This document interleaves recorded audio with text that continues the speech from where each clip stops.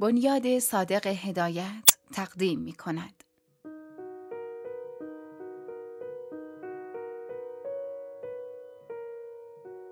با صدای متحره مراد بیگی بنیاد صادق هدایت تقدیم می کند.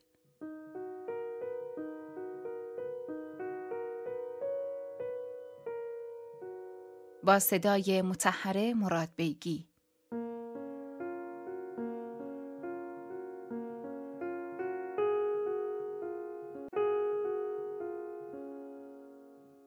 چنگال. اثر صادق هدایت.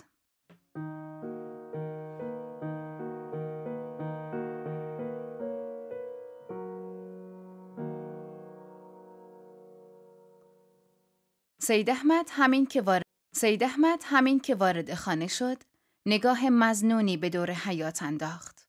بعد با چوب دستی خودش به در قهوه‌ای رنگ اتاق روی آب انبار زد و آهسته گفت ربابه ربابه دی حراسان بیرون آمد داداشی تو هستی؟ بیا بالا دست برادرش را گرفت و در اتاق تاریک کوچک که تا کمرکش دیوار نم کشیده بود داخل شدند. سید احمد اسایش را کنار اتاق گذاشت و روی نمد کهنه و روی نمد کهنه گوشه اتاق نشست. رباب هم جلوی او نشست. ولی برخلاف معمول رباب اخمالود و گرفته بود. سید احمد بعد از آنکه مدتی خیره به چشمهای اشکالود او نگاه کرد از روی بیمیلی پرسید ربابه با صدای نیم گرفته گفت گور مرگشون اتاق خوابیده خوابیده؟ آره امروز من آشپزخانه را جارو می‌زدم. چادرم گرفت به کاسه چینی همانی که رویش گلهای سرخ داشت. افتاد و شکست. اگر بدانی ننجون اگر بدانی ننجون چه به سرم آورد؟ گیزهایم را گرفت. مشت مشت کند. هی سرم را به دیوار می‌زد. به ننم فاش می‌داد. می‌گفت آن ننه یه گربه گورید. بعد بابا هم اونجا وایستاده بود. میخندید خندید سید احمد خشمگین. میخندید؟ هی خندید. خندید. می‌دونی حالش به هم خورده بود. همان جوری که یک ماه پیش شد. یک مرتبه دهنش کف کرد کج شد. آن وقت پرید ننجون را گرفت. وقت پرید ننجون را گرفت. آنقدر گلویش را فشار داد که چشمایش از کاسه درآمده بود. اگر ماه سلطان نبود خفش کرده بود. حالا فهمیدم ننمون را چجور کشت. چشمهای سید احمد با روشنای سبز رنگی درخشید و پرسید که رفت سر نشه او؟ می‌گفت که کیسهایش را دور گردنش پیچیده بود. نمی‌دونی وقتی که دستهایش را انداخت بیخ گلوی ننجون. سید احمد همینطور که به او نگاه می‌کرد دستهای خشک خودش را مثل برگ چنار بلند کرد. انگشتهایش باز شد انگشتهایش باز شد و مانند اینکه بخواهد شخص خیالی را خفه بکند دستهایش را به هم قفل کرد ربابه که ملتفت او بود کمی خودش را کنار کشید و به او خیره نگاه کرد سید احمد دوباره پرسید مگر بابام امروز نرید؟ مگر بابام امروز نرفت مسجد شاه؟ نه حالش خوب نبود. از همان بعد از ظهر پرت می‌گفت. از همان مسئله ها که تو مسجد برای مردم میگه قصد تهارت از آن دنیا حرف می‌زد. مبتلات روزه حیث نفاس. آره از خودش می‌پرسه شده. یک چیزهایی می‌گفت که من خجالت میکشیدم. بعد ربابه نزدیکتر به احمد شد. دست روی سر او کشید و گفت پس کی فرار می‌کنیم؟ مگر نگفتی که عباس می‌گوید با یازده تومان و شش قران هم می‌شود یک گاف خرید هم می‌شود یک گاف خرید؟ حالا ما یک لاغرش را می‌خریم. من هم رخت شوری می‌کنم. پول خودم را در میآورم. ببین هر چه زودتر فرار کنیم بهتره. من میترسم. بگذار هوا بهتر بشود چند روز است که پام اذیت می‌کند داشی اقلا هرچه باشد از اینجا بهتر است بعد هر دو خاموش شدند. احمد جوانی بود هجده ساله و بلند بالا. ابروهای پرپشت به هم پیوسته و چشمهای براق و صورت عصبانی داشت. پشت لبش تازه سبز شده بود. سبز شده بود. رباب پانزده ساله و گندم گون بود.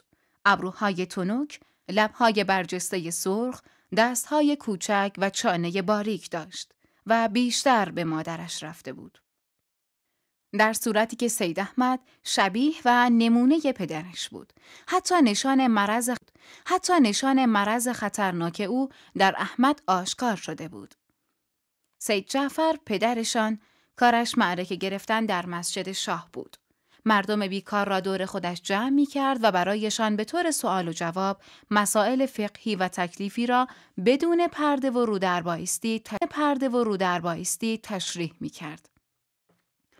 به قدری در فن خودش مهارت داشت که در موقع فروش دعا یک اقرب سیاه را دست آموز و زهر او را خونسا کرده بود و با آن نمایش می‌داد. اگرچه در این اواخر کاسبیش خوب نمیچرخید ولی لپیش یک شب که همه خوابیده بودند مست وارد خانه شد و صبح فردا سقرا زنش را خفه شده در اتاق را به عباس گفت و عباس هم فکر او را تمجید می کرد. بالاخره تصمیم گرفتند که هر سه آنها به ارنگه رفته و زندگی تازه و را به عباس گفت و عباس هم فکر او را تمجید می کرد. بالاخره تصمیم گرفتند که هر سه آنها به ارنگه رفته و زندگی تازه و آزادی برای خودشان تهیه کنند. هر شب احمد نقشه فرارشان را برای ربابه تکرار می کرد که همیشه یک را به عباس گفت و عباس هم فکر او را تمجید می کرد. بالاخره تصمیم گرفتند که هر سه آنها به ارنگه رفته و زندگی تازه و آزادی برای خودشان تهیه کنند. هر شب احمد نقشه فرارشان را برای ربابه تکرار می کرد که همیشه یک را به عباس گفت و عباس هم فکر او را تمجید می کرد. بالاخره تصمیم گرفتند که هر سه آنها به ارنگه رفته و زندگی تازه و آزادی برای خودشان تهیه کنند. هر شب احمد نقشه فرارشان را برای ربابه تکرار می کرد که همیشه یک جوی تازه و آزادی برای خودشان تهیه کنند. هر شب احمد نقشه فرارشان را برای ربابه تکرار می کرد که همیشه یک جور بود و ربابه با چشمهای زق زده فکر و هوش برادرش را تمجید می کرد. خیالات شگفتانگیز در مخیله سادهش نقش می مخیله سادهش نقش می بست و چون تنها مسافرتی که در عمرش کرده بود زیارت سید ملک خاتون بود هر دفعه که حرف ارنگه به میان می آمد ربابه به یاد آن روز می افتاد که آشرشته بار گذاشته بودند ننش زنده بود و او بس که دنبال تاجی دختر همسایهشان دوید زمین خورد و پیششان دوید زمین خورد و پیشانیش زخم شد. او گمان می کرد ارنگه هم شبیه سید ملک خاتون است و نیز به برادرش وعده می‌داد که از کار بازوی خودش هیچ دریغ نخواهد کرد و در مخارج کمک او خواهد شد. تا کنون احمد انداز کرده بود. اگر شش تومان و چهار قران به دست می آورد می توانست یک گاوه ماده و دو بز ماده بخرد. آن وقت می رفتند در خانه عباس. روزها آنها زمین را کشت و درو می کردند رباب هم شیر می دوشید. ماست می بست، توت خشک می کرد و زمستان هم احمد و زمستان هم احمد پینه دوزی می نمود و سر دو سال به قول عباس می توانستند از دسترنج خودشان دارای زمین و خانه شوند. پاییز و زمستان و بهار گذشت. احمد به خیال فرار به اندوخته خود می افسود. ربابه هم هر چه خورده ریز گیرد به دقت میپیچید و در مجری کهنش میگذاشت تا در موقع فرار همراه خودشان ببرند و شبها وقتی که توی رخت خواب می‌رفتند به جز حرف ارنگه و ترتیب فرار چیز دیگری در میان نبود. ولی پیش آمده دیگری رخ داد و آن این بود که لام الاف سرگذر که ربابه را دیده بود مادرش را به خواستگاری ربابه فرستاد. معلوم بود سید جعفر و رقیه سلطان هر دو به این امر راضی بودند. اما این پیش آمد تأثیر بدی در اخلاق احمد کرد. چون اگر برای خاطر خواهرش نبود او دو سال پرش نبود او دو سال پیش فرار کرده بود. ربابه که به این مطلب پی برده بود برای اینکه به احمد نشان بدهد که مشتی غلام را دوست ندارد نسبت به او بیشتر ابراز محبت می کرد. به طوری که احمد خسته می شد و چیز دیگری که احمد را تهدید دیگری که احمد را تهدید می کرد پادرد بود که سخت تر شده بود و از این جهت پیوسته غمگین و خاموش بود. یکی از روزهای زیارتی که سید جعفر و رقی سلطان به شاه عبدالعظیم رفته بودند و قرار بود که شب را در بود که شب را در آنجا بمانند ربابه از غیبت زن پدرش خوشحال تر از همیشه بود. حتی کمی به خدا رایی پرداخته و سفیداب تب رویش می‌گذارم تا جنس دکان خودمان را بفروشم. اما کاسبی کردن و راست گفتن رویش می‌گذارم تا جنس دکان خودمان را بفروشم. اما کاسبی کردن و راست گفتن دوتاست. شاید حکیم بهش داده. حکیم چرا به من نمی‌دهد؟ من که جوانم حالم از او بدتر است او شست سال دارد همه کیفا را رویش می‌گذارم تا جنس دکان خودمان را بفروشم اما کاسبی کردن و راست گفتن دوتاست شاید حکیم بهش داده؟ حکیم چرا به من نمی‌دهد؟ من که جوانم حالم از او بدتر است. او شست سال دارد. همه کیفا را است. او شست سال دارد. همه کیفا را کرده همه بامبول ها را زده. می‌فهمی؟ آن وقت ارث پادردش را به من داده. اگر شراب برای پادرد خوب است چرا من نخورم؟ دروغ است. همه این حرفا دروغ است. مگر نمی رویم علنگه؟ چرا تکان بخورم؟ هر دفعه بدتر می شود دو روز دیگر هم تو می روی خانه غلام. من تنها می مانم توی این خانه جانم به لبم رسید. را که برمیگردم مثل این است که با چماق مرا میآورند. می‌خواهم بروم بروم سر بگذارم به بیابان. چرا بگذارم به بیابان. چرا شراب نخورم؟ بعد یک مرتبه ما بین آنها سکوت شد. چند دقیقه بعد شام خوردند و کنار حوز در رخت خوابشان خوابیدند. ربابه سر دماغ بود تخمه می شکست و می خاند. می شکست و می خاند. می برم علنگه یه پای خرم می لنگه. می برم علنگه یه پای خرم می لنگه. قه می خندید. اما احمد متفکر و گرفته بود. و پیش خود گمان می کرد که ربابه به او تعنه می زند. ربابه دوباره گفت ربابه دوباره گفت امشب ما تنها هستیم. علنگه که رفتیم هر روز همینطور است. ننجون نیست. ما با هم هستیم. همچین نیست احمد. در جواب او احمد به زور لبخند زد. ربابه گمان کرد برای پادردش هست. باز علنگ من از تو پرستاری می‌کنم. پاد خوب میشه. مگر ماه سلطان نگفت از باد است؟ باید چیزهای حرارتی بخوری. حالا مبادا وقت به زنگاه پاد درد بگیره نتوانیم بریم. نه. پا میبی نداره. اما به تو چه؟ پا میبی نداره. اما به تو چه؟ تو که شوهر می‌کنی. به جدم که نه. هرگز من زن مشتی غلام نمیشم. با تو میا محتاب بالا آمده بود. ستاره های کوچک از ته آسمان سوسو می زدند. ربابه آزادانه صحبت می کرد و می خندید و گو احمد هیچ وقت این صورت مهیج را در ربابه سراغ نداشت و با تعجب به او نگاه می کرد. احمد با لحن تمسخرآمیز پرسید از مشتی غلام چه خبر؟ مرد شور ریختش را ببرند الهی تنش زیر گل برود نه تو خودت را می‌خواهی به جدم که نه من به جز تو کسی را دوست ندارم. دروغ می‌گویی. والله دروغ نمی‌گویم. هر آنی که راه بیفتی من هم با تو میآیم. هفته دیگر. نه. پس فردا می‌رویم. پس فردا می‌رویم. با این پا. هان هان. دیدی که من فهمیدم؟ از همان اول فهمیده بودم. تو مرا مسخره کردی. مسخره تو شدم. تو به خیالت که من دروغ می‌گویم؟ بیا همین الان برویم. شوهر بکنی توی علنگه مردهای پرزور جوان و سرخ و سفید دارد. تو می‌خواهی؟ راستی من عباس را ندیدم. در این وقت احمد گونه هایش گل انداخته بود. به دشواری نفس می‌کشید. انگشت هایش میلرزید و دهن انگشت هایش میلرزید و دهنش خشک شده بود. ربابه که ملتفت او نبود دنبال حرفش را گرفت. به جدم قسم اگر من زن مشتی غلام بشوم. آخر مگر نباید بگویم؟ بله. نمی‌گویم. وانگهی او پیر و زشت است. ای او پیر و زشت است.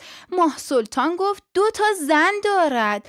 من او را نمی‌خواهم. با تو میآیم. حالا علنگه خیلی دور است. نه. پشت کو است. وانگهی ما با مال می رویم. آن کوههای کبود که آن کوههای کبود که از روی پشت باممان پیداست. می‌دونم. رویش برف است. من یخ ماست هم بلدم.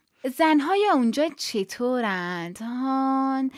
ایلتی هستند من یادم است. ننه ناده علی گاهی میآمد خانه ایمان. یادت هست؟ وقتی که ننمون از توی کوه صحبت می‌کرد.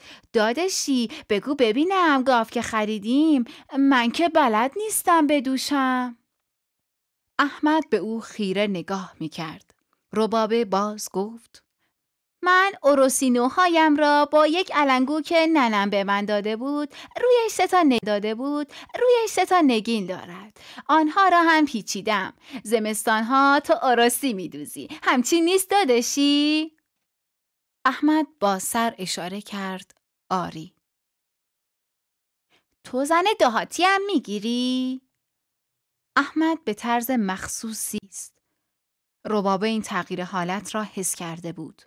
ولی از روی لجاجت می‌خواست او را به حرف بیاورد. قلب زد و شروع کرد به خواندن.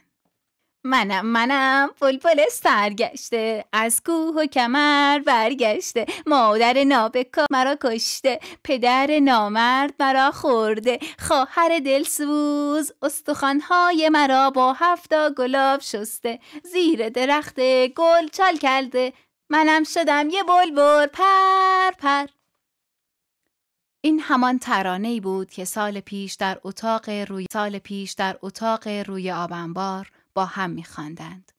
ولی امشب جور دیگر به نظر احمد آمد و او را بیشتر عصبانی کرد. مثل این بود که می‌خواست به او بفهماند که من شوهر می‌کنم و می‌روم. اما تو زمینگیر می‌شوی و نقشه فرارمان به هم میخشه فرارمان به هم می‌خورد. ربابه دوباره در رخت خواب قلد زد. برگشت و گفت امشب هوا خنک است. دستت را بده به من. دست احمد را گرفت. روی گردن خود گذاشت. ولی انگشت های سرد احمد مثل ماری که در مجاورت گرما جان بگیرد به لرز افتاد. در این وقت جلوی چشمش تاریک شده بود. تند نفس می‌کشید. شقیقه هایش داغ شده بود. دست راستش را بدون اراده بلند کرد و گردن ربابه را محکم گرفت. ربابه گفت: مرا اینجور نگاه نکن.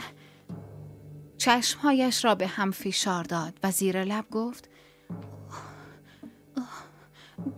چشمها شکل بابا بابا شکل بابا شدی باقی حرف در دهانش ماند چون دستهای احمد چون دستهای احمد با تردستی و چالاکی مخصوصی دو رشته گیس بافته ربابه را گرفت و به دور گردنش پیچاند و به سختی فشار داد ربابه فریاد کشید ولی احمد گلویش را گرفت و سر او را به سنگ حوز زد. کف خونالودی از دهنش بیرون آمد و بی احمد بلند شد. چند قدم بی کمک عصا راه رفت. سپس مثل اینکه همه قوای او به کار رفته بود دوباره به زمین خورد. صبح مرده هر دوی آنها را در حیات پهلوی حوز پیدا کردند. پیدا کردن